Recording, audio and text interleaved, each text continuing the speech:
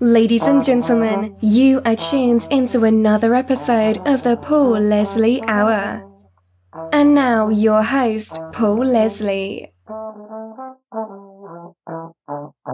Hey, it's me. There are singers and there are songwriters. Then there are singer songwriters who can sing their own songs, but also put an indelible stamp on another song. Marshall Chapman is an icon of Americana, a singer, songwriter, actor, author, teller of stories, a great spoken word artist. As a recording artist, her albums have been heralded by music lovers and the press. In fact, it was just a couple weeks ago. I turned off the lights late at night. I went back to her very first album and I sailed away, all the way to the present day. She has a new album coming out. This is number 14. It's a great album.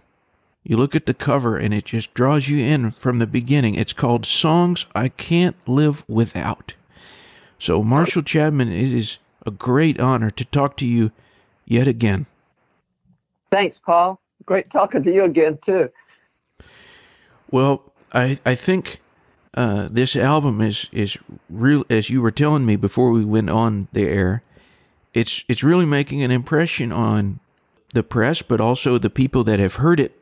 There's some great things that people have said, and I want to just read a couple of them. This one comes from the great Tommy Womack.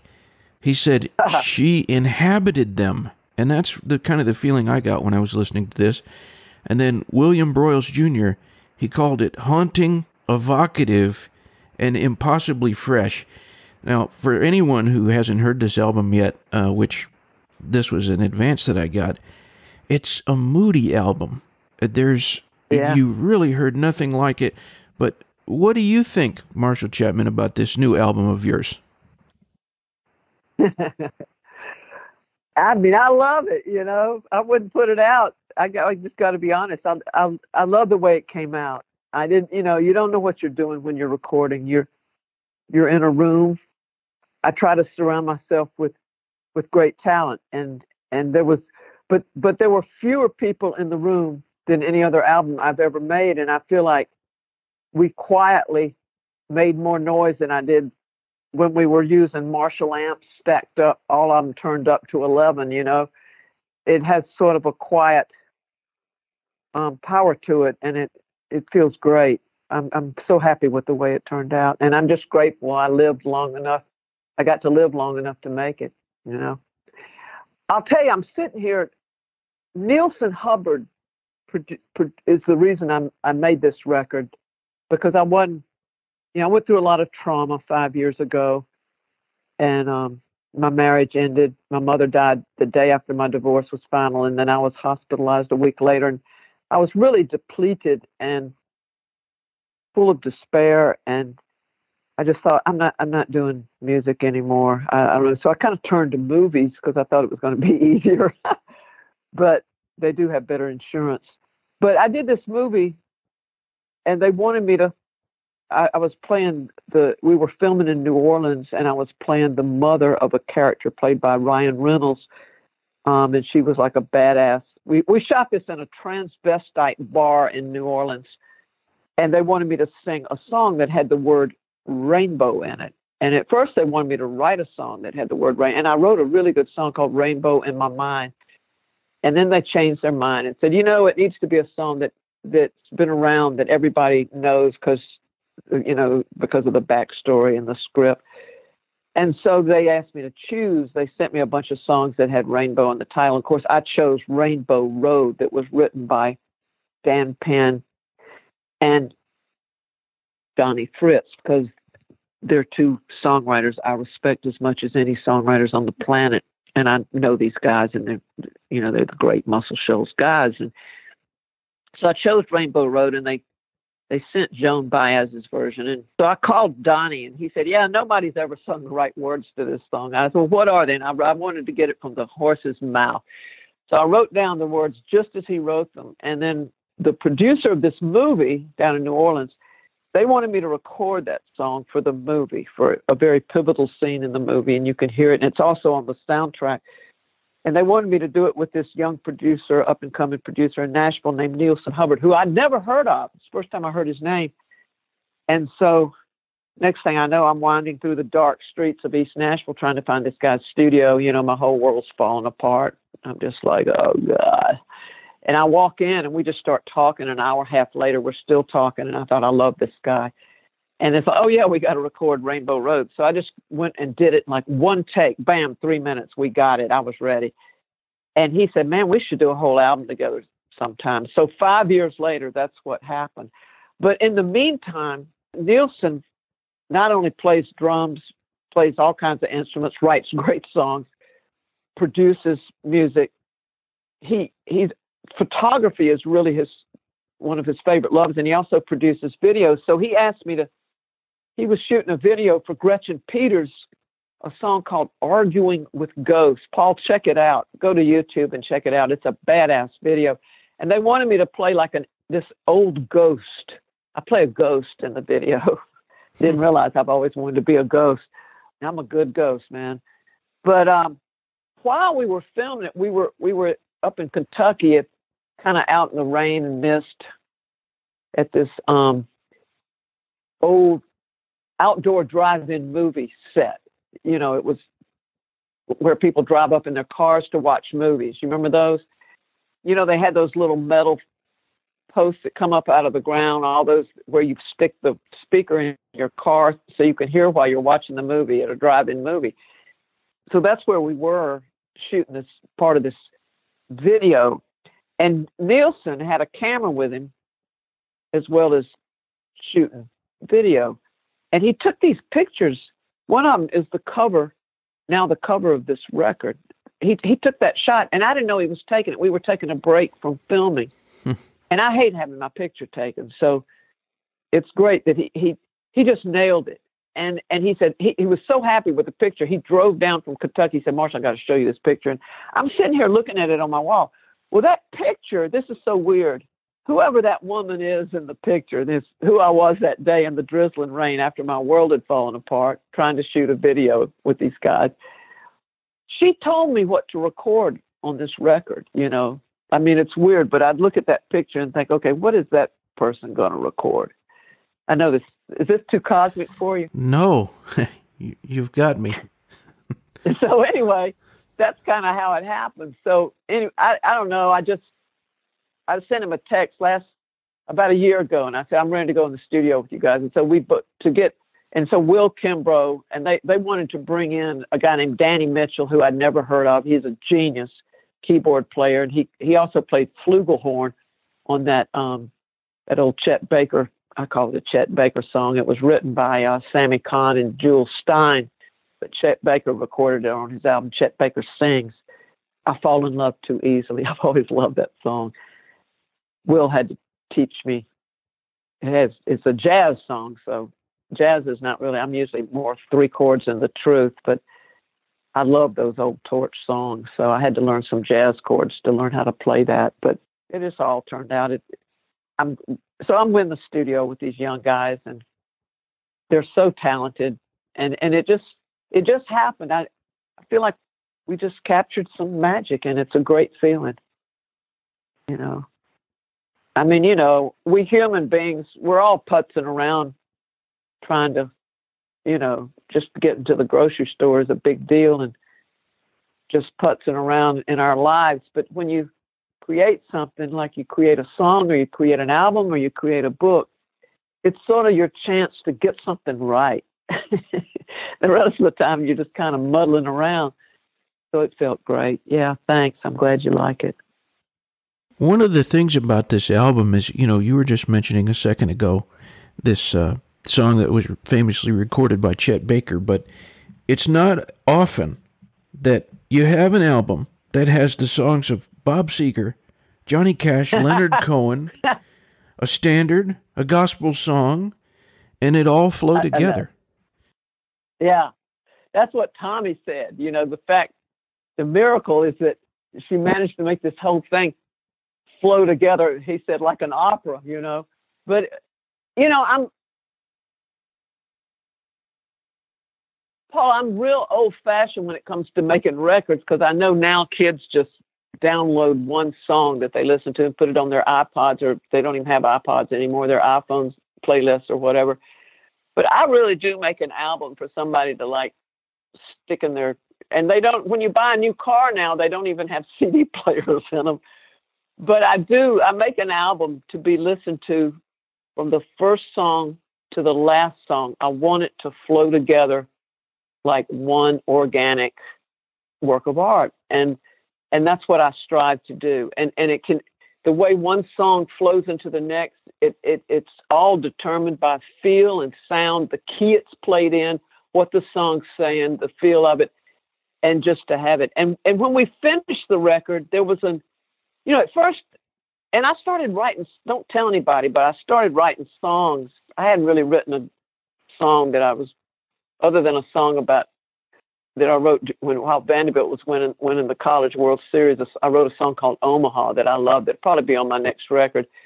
But I wrote a blues song while we were in there, and and and also we had the recording of of the song I wrote that had Rainbow in it, Rainbow in My Mind, which I had a good recording on. We were going to put that on there, but so I had songs that I'd written, and then I thought about doing a double CD. Like one CD would be songs I've written, and then the other one would be you know, songs I I can't live without. You know, we did about 15 songs, and normally I put 11 songs on a record, but we got it down to nine because it just sounded so right. But at first, the last song on the record was a song that we recorded called Chilly Winds. Do you know that song? It was written by John Stewart, the great John Stewart, and John Phillips, who, oh. who was the oh. head of the Mamas and the Papas. And John Stewart took Dave Guard's place in the Kingston Trio, and then he did his solo career. And he's he's one. And I met him when he was in Nashville recording "Cannons in the Rain" for RCA. I was at all those sessions.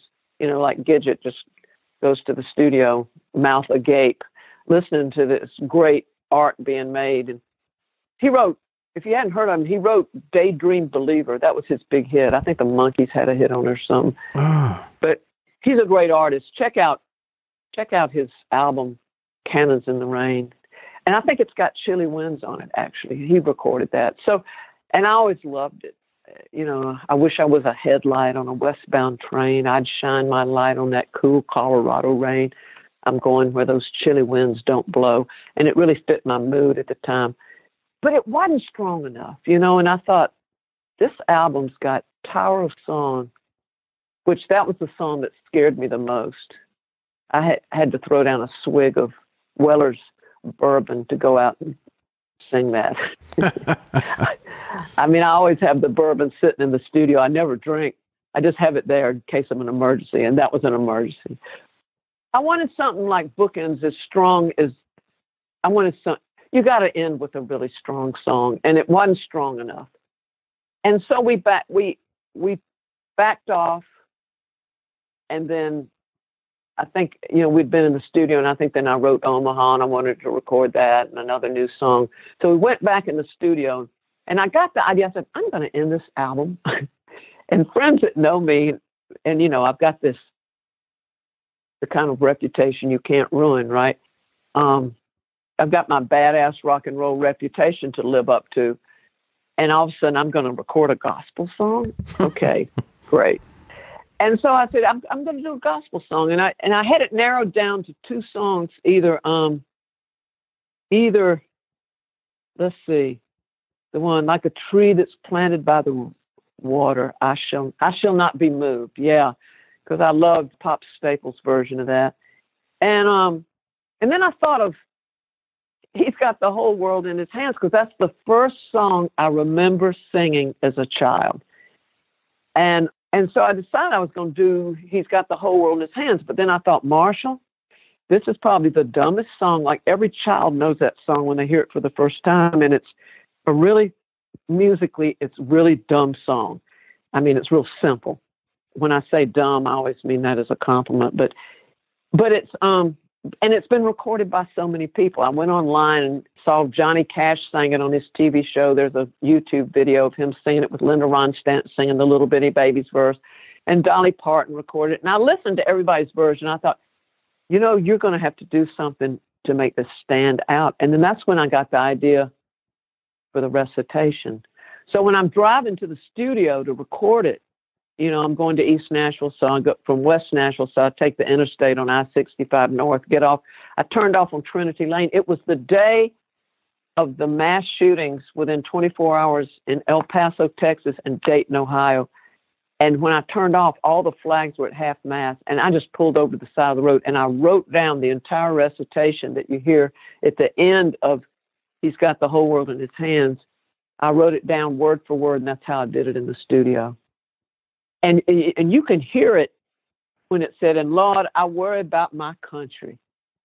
I hmm. want my country to be to be a beacon." And you can hear it on the word beacon when I say that word. My voice cracks is because I was I was crying when we were recording it because my heart was so heavy, worrying about everything that goes on here in our country.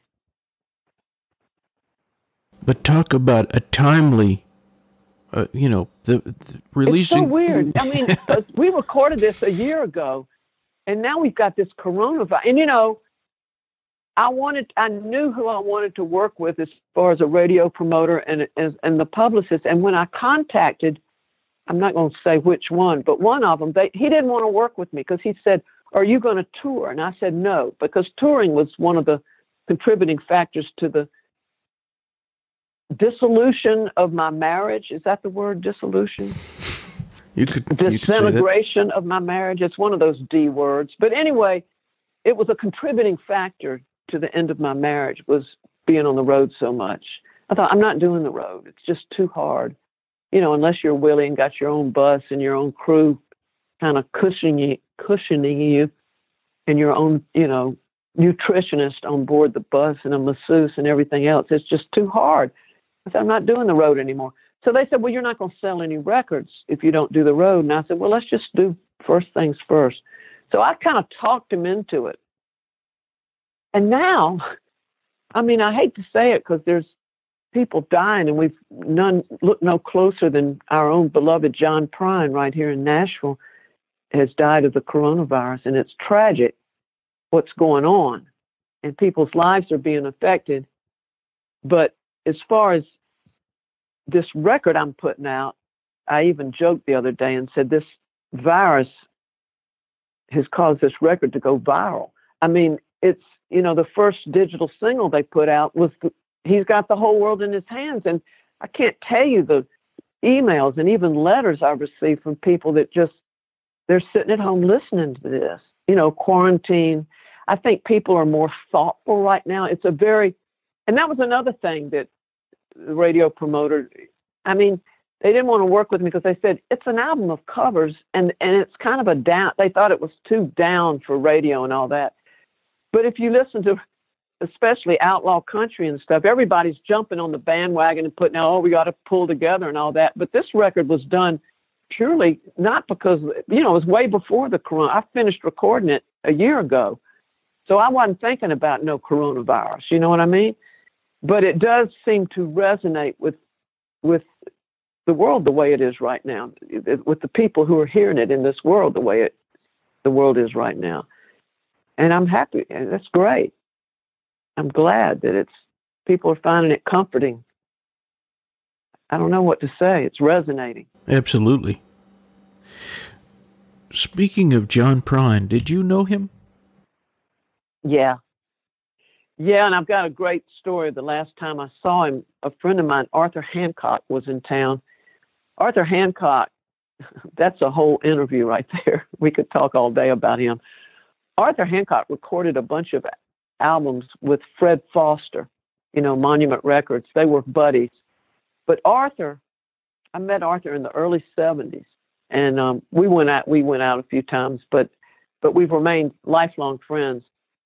And Arthur, when I met him, he had been disowned, just been disowned by his father. With his father was the late great Bull Hancock, who owned Claiborne Farms, which is one of the most respected thoroughbred breeding farms in America, and and, and it, it, they even bred Man o' War, one of the greatest racehorses, and also Arthur's brother Seth Hancock handled the syndication of Secretariat, Well, when I met Arthur, he'd been disinherited by his father because he was a badass alcoholic and used to do all this wild shit.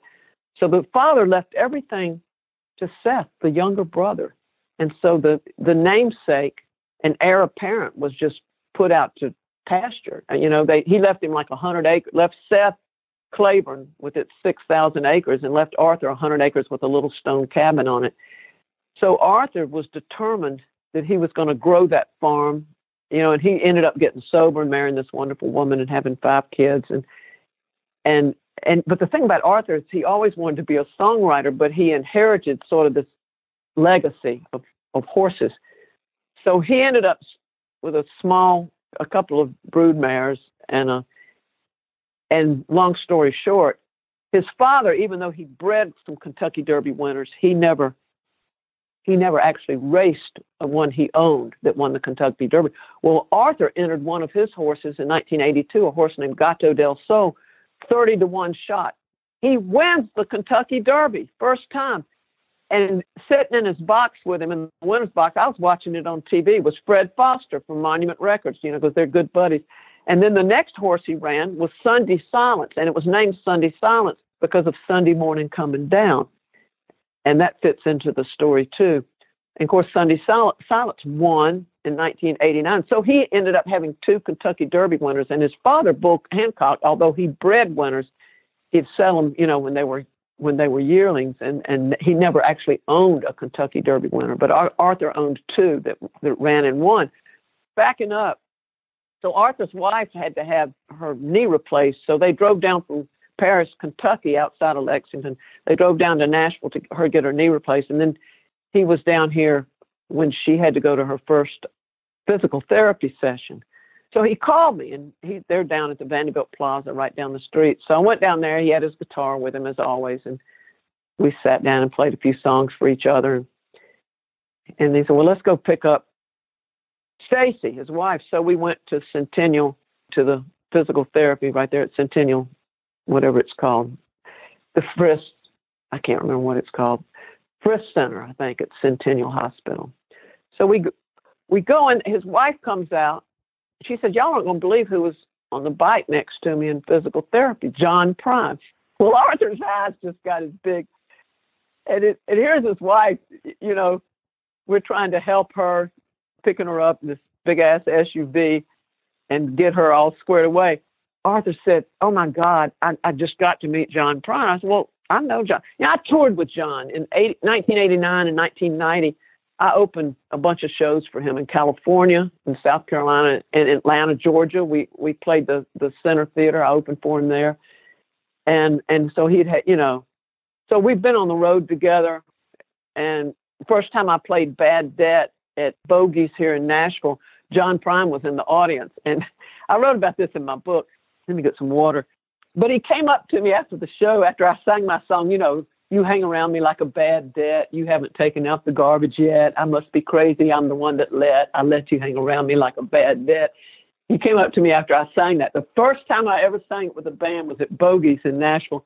And Prine came up to me afterwards. He said, Marshall, when are you going to stop picking on us? so, anyway, so Arthur and I, I said, Yeah, I'll introduce you to John. I said, eh, because I just had my knee scoped and Chris had just had his knee Chris is my former husband who I'm now dating. And Chris had just had his knee replaced. So we knew the people down there at physical therapy pretty well. They're, they're not supposed to let you come in unless you're working out. And I said, there's a chance they won't let us in, you know, because they don't, not supposed to let you in unless you're working out. So we abandoned Arthur's wife. There she is on crutches in the parking lot with the car, and we just take off and go running back in the building, you know, let her fend for herself with her newly replaced knee.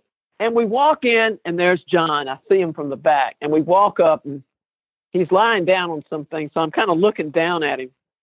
And I told him this story that Arthur had told me earlier that day when when Fred Foster was recording Arthur, he wanted him to hear some songs, wanted Arthur to hear some songs written by this songwriter that Fred had just signed. What's his name? Beckett. Bob Beckett. I think that's his name, that had Combine Music. Anyway, he had this new songwriter. He brought him in to play some songs for Arthur to record. Well, it was Kris Kristofferson, And Kris had just written Help Me Make It Through the Night. And he sings it, Help Me Make It Through the Night. He pitches it, sits down, and right there at Arthur's feet sings him the song for Arthur to record. And Arthur passed, it. and Arthur said his mindset was, I don't need anybody helping me make it through the fucking night. you know, I'm ten, I'm ten feet tall, bulletproof. What the hell? I need somebody to help me make it through the night. That's the wimpiest song I've ever heard. He hated it. So we told when we went to Prine, I, I introduced him. I said, "This is Arthur Hancock, John. He's he's a songwriter, singer from up in Kentucky. He's also got horses and stuff, but he was friends with the late great Fred Fall. Oh, yeah, yeah, great. And I told him the story of of him turning down that what I just told you about him turning down, help me make it through the night. And as we were walking away, John kind of turned around and looked at us with that kind of impish look that he had, and he said, uh, help me make it through the night. Don't need nobody's help. Didn't need nobody's help, which I thought was, and and I thought that was the last thing I heard him say. And and Arthur and I were talking recently, and I said, God, I feel so bad. And Arthur remembers everything. Fred Foster used to call him the sponge because he said Arthur's memory is so sharp.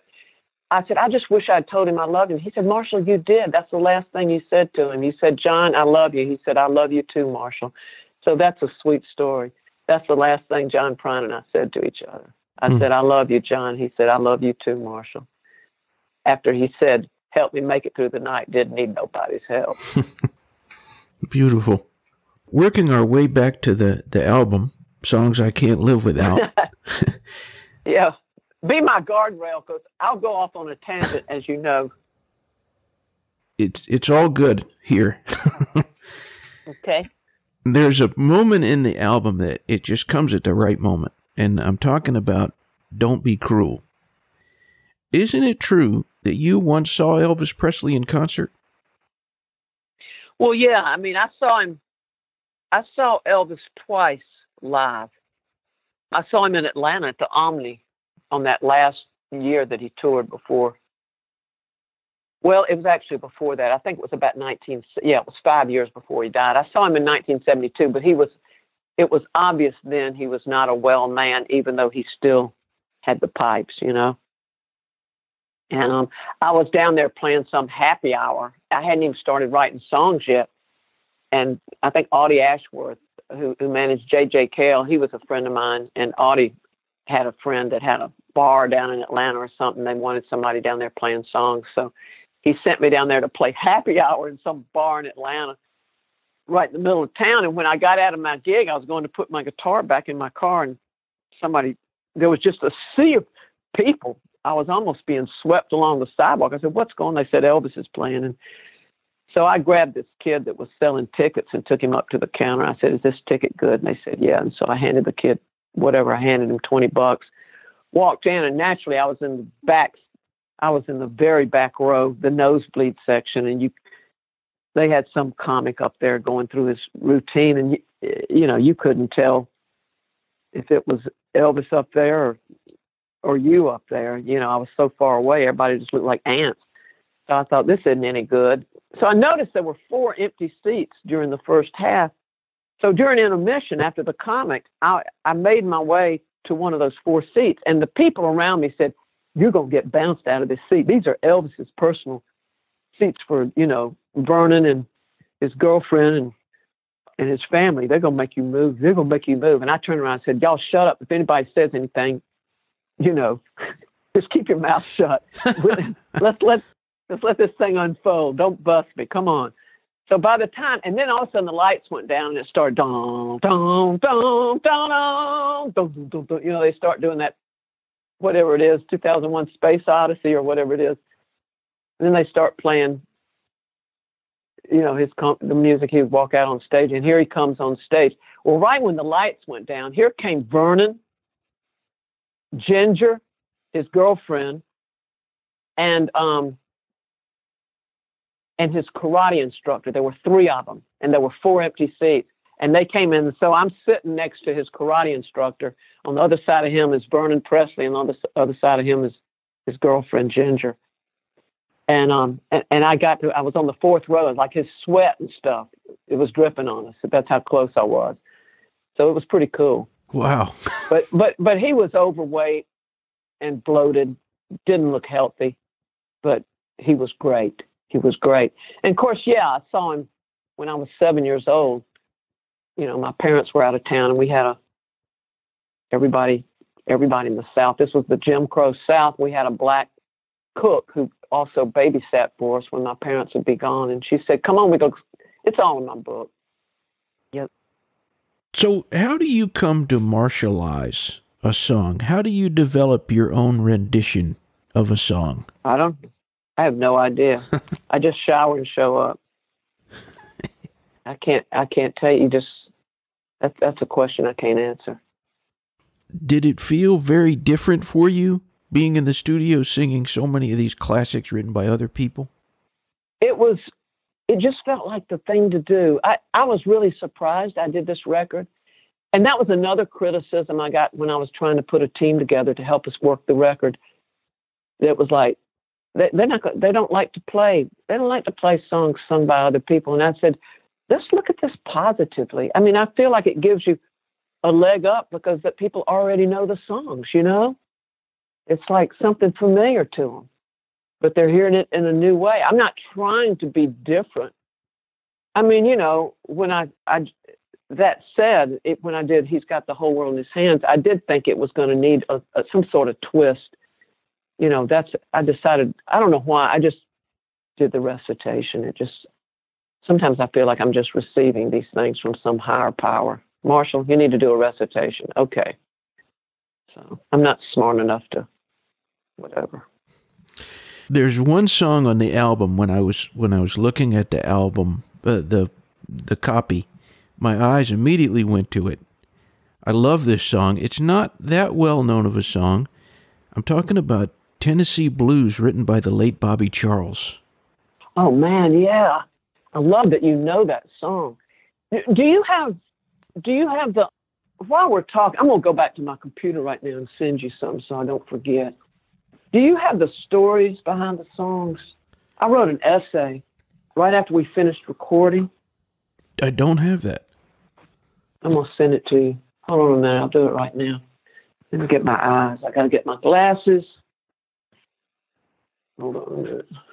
Well, I can send it to you afterwards, but where did I put my glasses? Oh, this is a little game I play with myself. I hide my glasses. Ah, there they are. Okay. Yeah. So, what have you gotten in the mail? Are you on Kerry's mailing list? Did he send you the CD? Yeah, he sent me the CD, and he sent me. Uh, uh, it was a it was a one sheet press release, but it was mostly quotes from people. Yeah, that seems to be the hip. All right, at gmail.com. And I'm going to send you this right now. Yeah, this is a little essay because what I'm doing when people order it, I'm including signed copies of this essay as sort of a little bonus for the pre orders. That's what we're doing. As promised. Nice. That's what I got on it. So I'm sending it to you right now. And it just tells I wrote an essay that is sort of the story of how Neilson and I came to record this record together. The one I told you about recording Rainbow Road, and then how we ended up doing the album. And then it's the stories behind every song and why I chose that song. And the Bobby, getting back to Tennessee Blues, that's cool you picked that out because the story behind that, I'll just read it to you. I'll read, I'll read to you people out there. Beautiful. Yeah. Here's the story behind that because I just sent it to you. Tennessee Blues. Here we go. It's just a little thumbnail. I first heard this song when Tompall Glaser recorded it at Glaser Sound Studios in Nashville in 1976. I was there to sing background vocals. I've always thought Tompall's version was one of the greatest recordings ever to come out of Nashville as far as raw emotion. Fast forward 40 years. I'm on location for a film called Love Song. We're in a house on the banks of the Cumberland River just beyond where Opryland, USA used to be. I'm sitting on a bed in an upstairs bedroom. By the way, I was sharing that those bedrooms quarters with uh, Elvis Presley's granddaughter, who's co-starred in this film. She's a really fine actress. I'll think of her name in a minute. She's great. Lisa Marie is her mother. It's December 2014. I'm sick as a dog with the infection that two weeks later would have me quarantined at St. Thomas Hospital. I knew something wasn't right, but I just thought I was tired because of my divorce and my mom's death. To keep my soul alive, out of the blue, I started jotting down the lyrics to Tennessee Blues from Tompall's version that was on my iPhone. Then I started singing. You know, you have to wait a lot when you're making movies.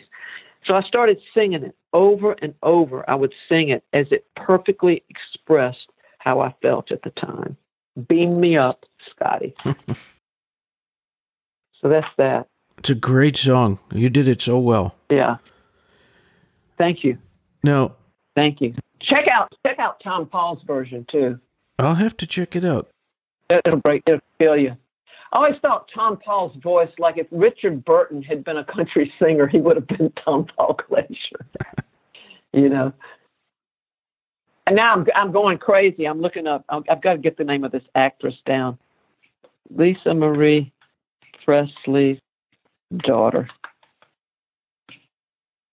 There she is. Where's the daughter? Riley Keough. That's her name. You've heard of her. She's a great actress. Riley, what's She's your last really, name? really good.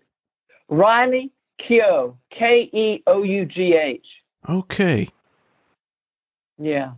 You know, when you're making movies, you, you spend a lot of time. You get to know the people you're working with, and it becomes very much like family because you're all, you know, out somewhere and it's raining on location, and you're all under the same tent, eating food, getting ready for the shoot. And everybody, it's a very people don't realize, you know, you see movie stars and everybody's bigger than life on the big screen, but when you're actually recording the movie, it's very uh you're all kind of in the same boat, and it seems like everybody's egos are checked at the door or whatever. Because I've never run into that star stuff as as much as I even see it in Nashville. It doesn't seem to exist in the at least in the movies I've worked in. Maybe I've just been lucky.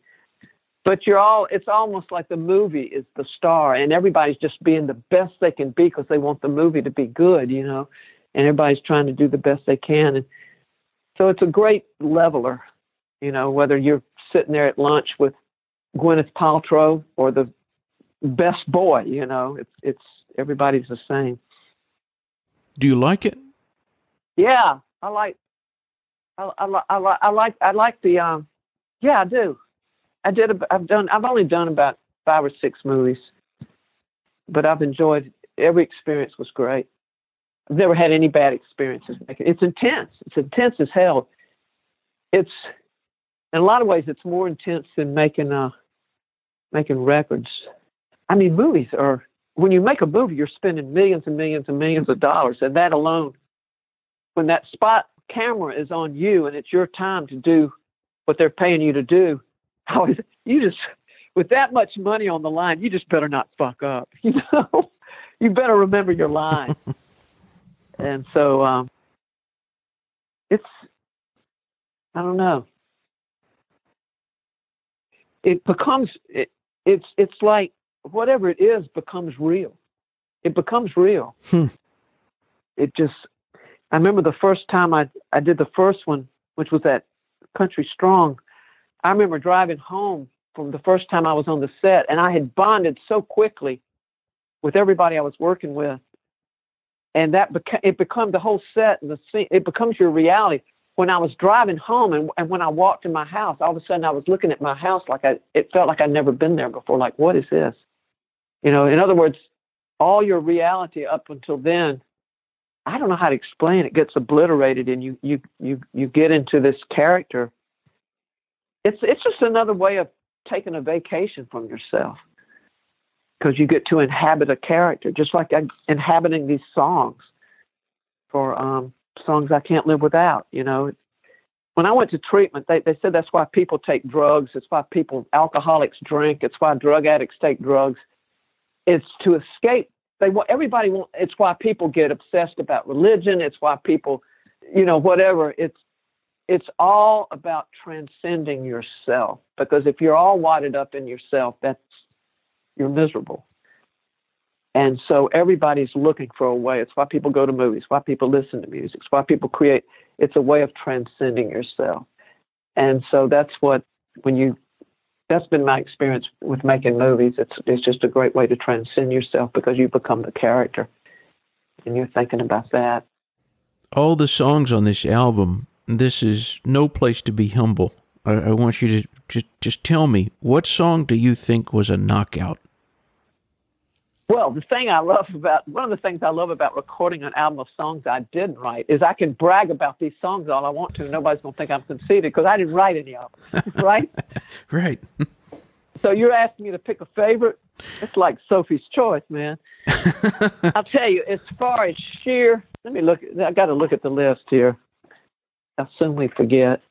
I'm gonna go actually pick up a copy of it here. Let's see, what do we record here? Oh my God. So, what did you just ask me?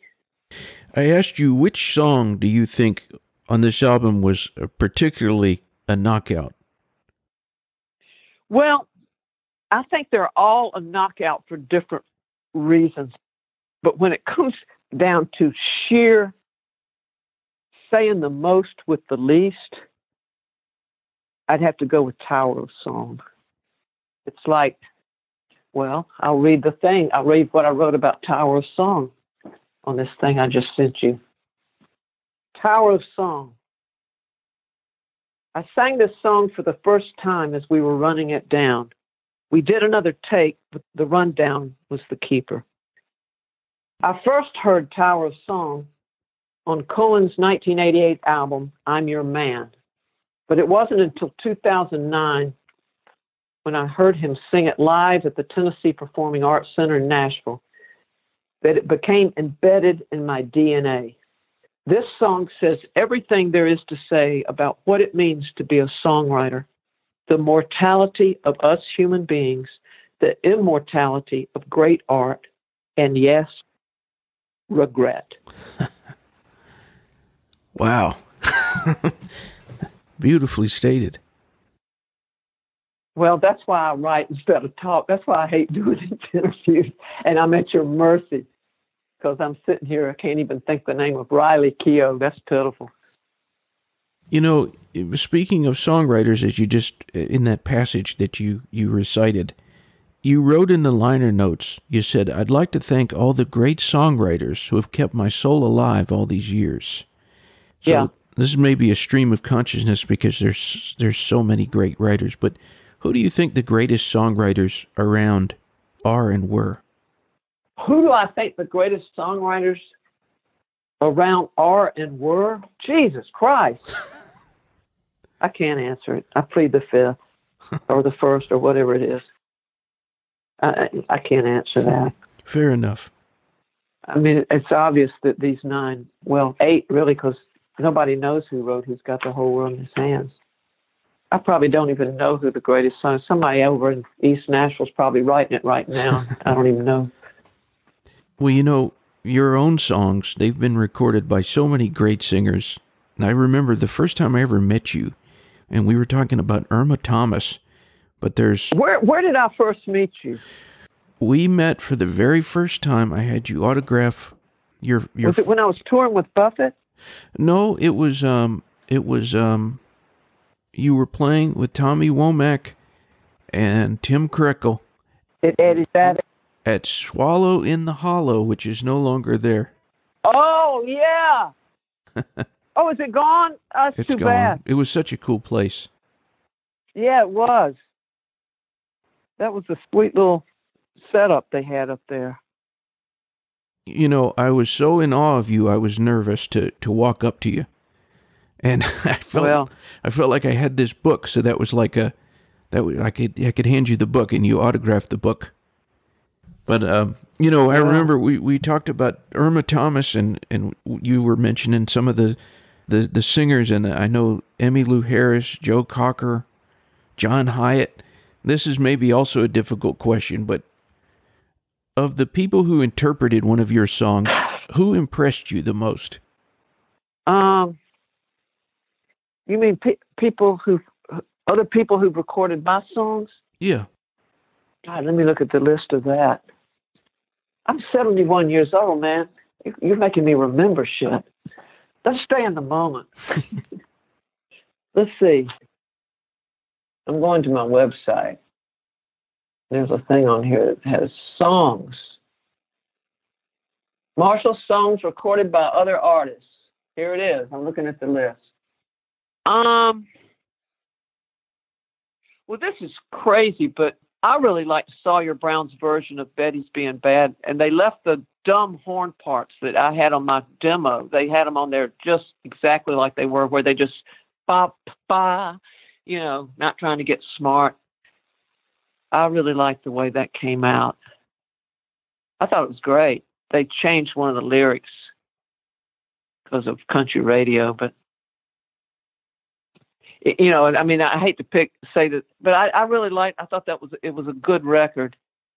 But I was thrilled when I heard Joe Cocker's version of a song I wrote with Steve Davis called "Just to Keep from Drowning," and he sang it on the Tonight Show one time, and it wasn't the single. And I remember Johnny Carson said, "That's that's not the the single." He said, "No, it's just what I wanted to do." I thought that was so cool. Let's see. Yeah, I mean it's. uh I'll go with that.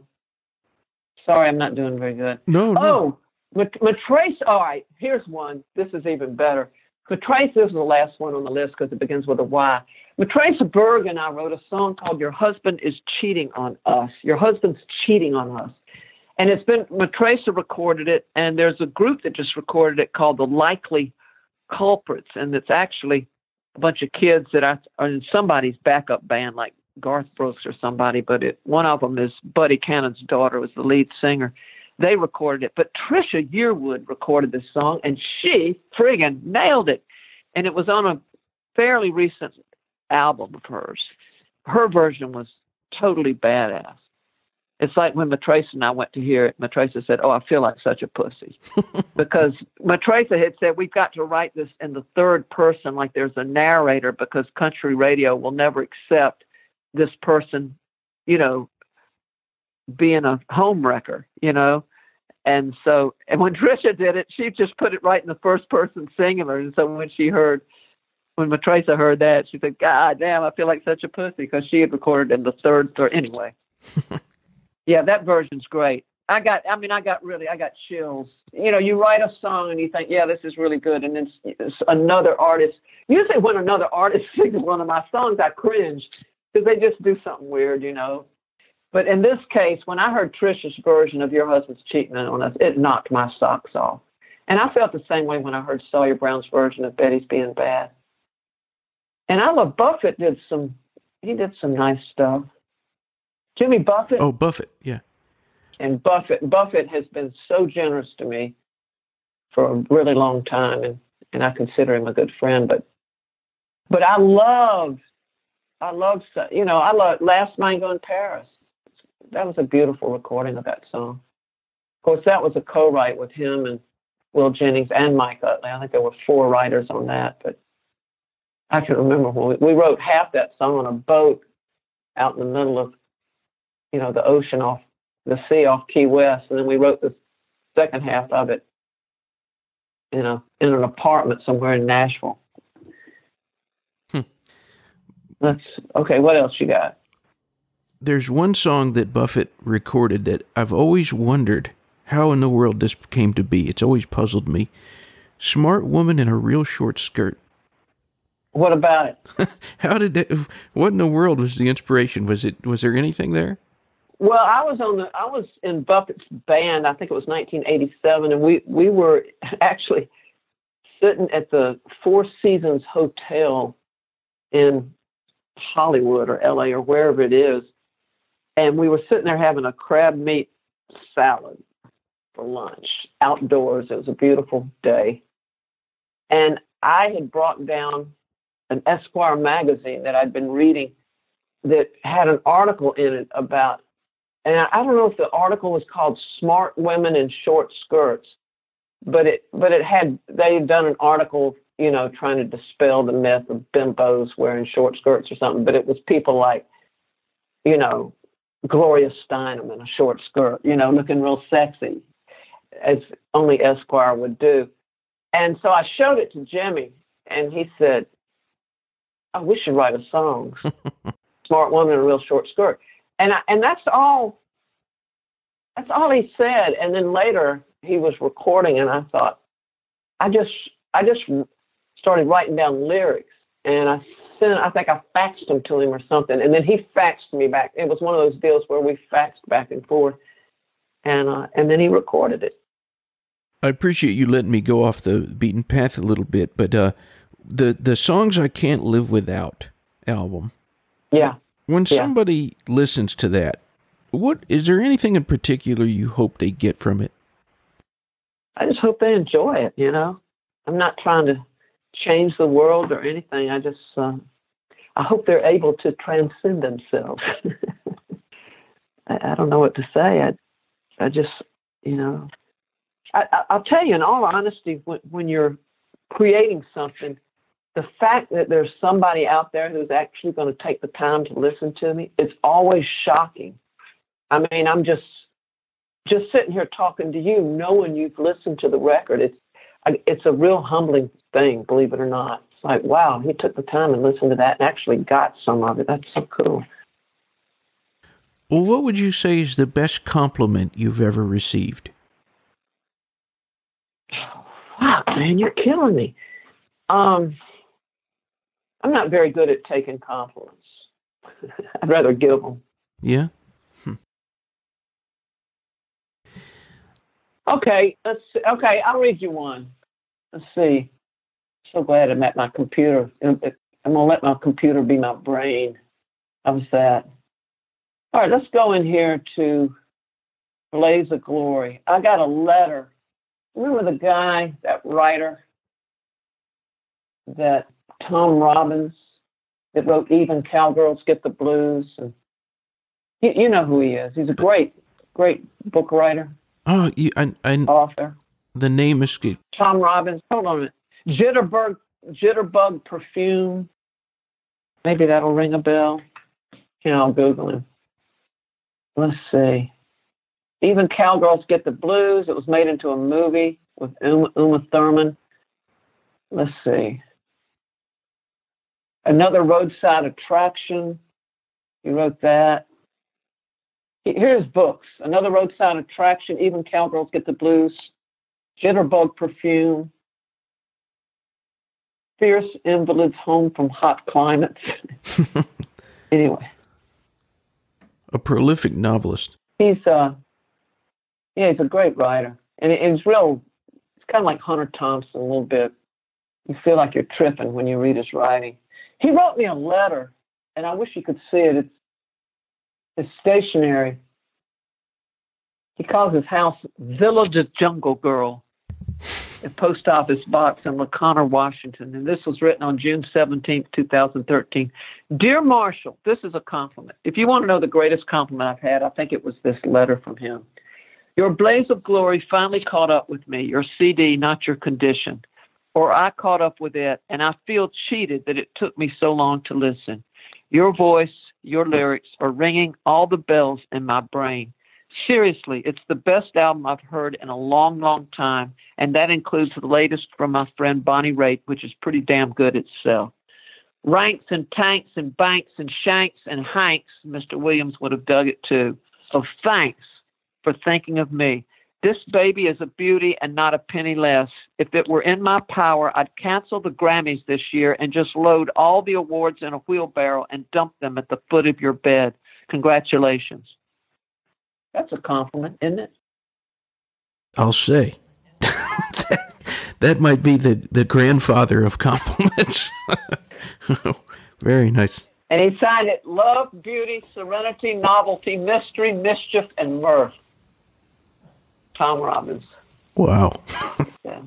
And, uh, and his stationery has this graphic in the upper right hand corner of this black panther hanging down from this branch with all his talons out, getting ready to claw this scantily clad woman in a in like a um in a leopard skin bikini. And but she's got a knife out. Like they're fighting. they're getting ready to go. It's wild. He sounds like he knows how to get attention. Well, or he's got a real good balance of yin and yang. That's how I look at it. I always like to end the interview. I, I always give the guest the stage where they can go wherever they want. What would you say to anyone who's tuned in? Huh? Oh God, you're killing me. You, I, I, I. You got me on the spot. I can't do it. It has to be spontaneous. I think I've gone off on enough tangents where you probably got a plenty. Well, Marshall, you've been very generous with me. Yeah, I've enjoyed. I've enjoyed it. I'm, I'm sorry, I just don't answer questions as as well as I do go off on tangents. I don't know. Ask me something. Ask me something I can answer. Well, what makes a good song a good song? What makes a good song a good song? A good song can't be denied. It's what makes anything good. Wow. A good song gra- grabs you. The very first, the very first word you hear, the very first line, it grabs you and it it doesn't let go. I hate when I'm writing a song and the first line is really good and it's like, oh shit, because you know you've set the bar really high. what would you say makes a great singer? A great singer is just any singer whose voice is connected to their soul. Oh, that's a great question. I like answering this. A great singer is somebody whose voice is connected to their soul. And so when you hear them sing, you're connected to heaven. What an answer. Wow. Nice. Very nice. What else you got? yeah, you, you're knocking them out. All right, this is off the record. Okay. Case in point, Willie Nelson is a great singer, even though Billy Sherrill and all the powers that be at CBS didn't even want to release Redheaded Stranger because they said, hell, he can't sing, and that thing sounds like a demo, and the bass isn't even in tune. Who cares? It's great. Hmm. And um, he's a great singer because my mother did not like country music, but I gave my father what was that album he did that had Stardust on it? Oh yeah, Stardust. Stardust. Yeah. I gave him. My parents listened to opera, you know, or or you know those that clarinet. What's his name? Glenn Miller. They listen to stuff like that. So I I gave my father one time a CD. It's right when CDs had come out. I gave him Willie Nelson's Stardust, and he was sitting in the den listening to it. And all of a sudden, my mother's standing in the doorway. And whenever my mother doesn't approve of something, her it's like her hairline goes back about an inch. And she's standing there with her hairline back. Well, then all of a sudden, her hairline kind of comes forward a little bit more. And she said, That man can't sing. And then a few more, she listened to it a little bit longer. And then she just shook her head. and She said, But I like it. And so that's why he's a great singer, because he forces even my mother to like it and who the kind of singers I can't stand are and this is all off the record. This is off the record. Promise me, okay? I promise. But take Michael Bolton singing When a Man Loves a Woman. I'd rather listen to Cats Fight. And people think he technically he has a great voice. But but it's not connected to his soul, it's connected to his penis. Oh, You might oh. you might if you can work if you can work that in somewhere, I'll stand by that. oh man. especially especially, especially if, if you get your laughter in there. That would be great. Uh, That man's voice connected to his dick. All right. we'll, we'll leave it at that. I'm sorry. no need to apologize. Sometimes I just have to be be bad. It, I will say this: it's going to be painful if I have to cut that out. They say, but well, they say if Betty's being bad, it's her way of leaving. I guess this interview's over now because I'm being bad. That's pretty good. Yeah. All right.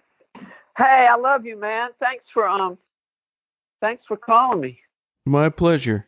Thanks for listening to the and thanks for listening to songs I can't live without. I I'm just grateful I got to live long enough to make it. And there will be another album coming out as well? You know, there might. That's what I like to hear.